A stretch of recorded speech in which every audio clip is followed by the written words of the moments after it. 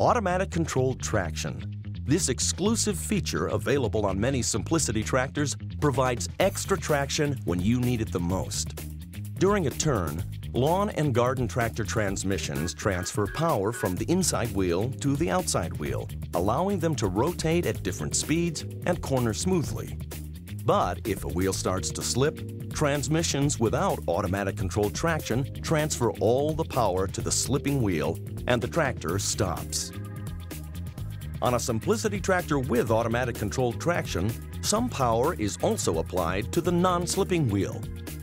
By powering both wheels, automatic controlled traction can help keep you from getting stuck in slippery conditions. Here's how it works.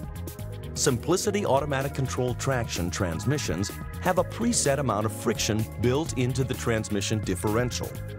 So, if the left tire starts to slip, that preset friction applies some power to the right tire. If the right tire slips, that preset friction applies power to the left tire. And that extra power is often just enough to keep you out of trouble. So, if a tire starts to slip, don't speed up. Simply stop and then slowly accelerate. By stopping and slowly accelerating, Simplicity's automatic control traction can apply the greatest amount of force to the non-slipping wheel. While no traction control system can handle extremely slippery conditions, automatic controlled traction greatly enhances the performance of Simplicity tractors in challenging conditions. And because it works automatically, it's always there when you need it.